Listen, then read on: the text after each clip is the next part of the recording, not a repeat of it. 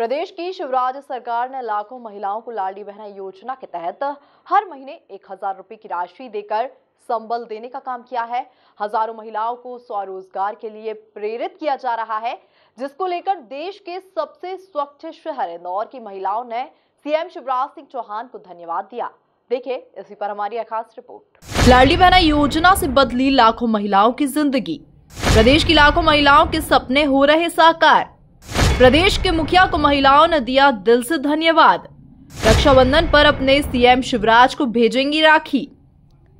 लाडली बहना योजना से लाभान्वित तो होने वाली महिलाओं से जब एमपी न्यूज़ की टीम ने ग्राउंड ज़ीरो जाकर बात की तो कुछ ऐसे पहलू निकलकर सामने आए, जिससे कि रोज़मर्रा की ज़िंदगी में चल रही परेशानियाँ कम हो गईं, जहाँ इस योजना से महिलाओं के जीवन में काफ़ी महत्वपूर्ण परिवर्तन आए और महिलाएँ खुद के पैरों पर खड़ी होकर स्वरोजगार की ओर आगे बढ़ने लगी।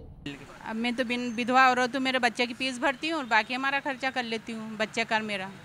बहुत बहुत धन्यवाद थैंक यू इस योजना से लाभ प्राप्त करने वाली महिला ने खुद अपने पैरों पर खड़े होने की बात कही और योजना से लाभान्वित होने के बाद खुद का स्वरोजगार चालू किया।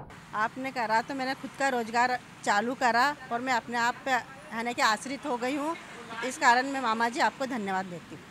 यानी कि इस योजना से लाभ मिलने के बाद में यह कहा जा सकता है कि इस योजना से प्रदेश की लाखों महिलाओं के जीवन में काफ़ी हद तक परिवर्तन आया है।